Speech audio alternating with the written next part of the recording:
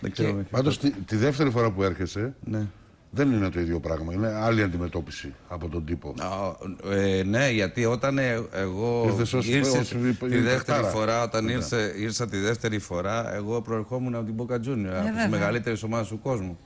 Και ήμουν καρχηγός στην Boca, ε, δηλαδή...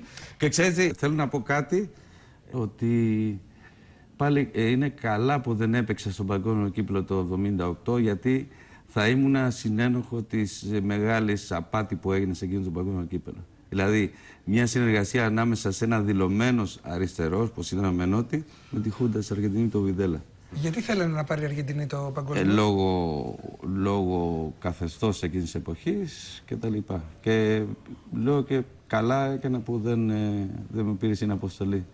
Γιατί ε, όταν μιλάμε για χούντα, μιλάμε για τη πιο βάρβαρη χούντα που, που υπήρχε ποτέ στον κόσμο, πιστεύω. Εσύ Με την έχεις. 30.000 αγνοούμουν. Έχω Την ένα έζησες, την ξάδερφός έζησες. μου που εξαφανίστηκε. Και προχθές διάβασα, ε, είχε ένα άρθρο ε, τα παιδιά που εξαφανιστήκαν από την επαρχία μου μόνο και ήταν γύρω στα 550. Ο- Όλοι ήταν φοιτητές, ναι. Και ανάμεσα στους 552 κοπέλα που ήταν ε, συμμαθήτριά μου στο σχολείο.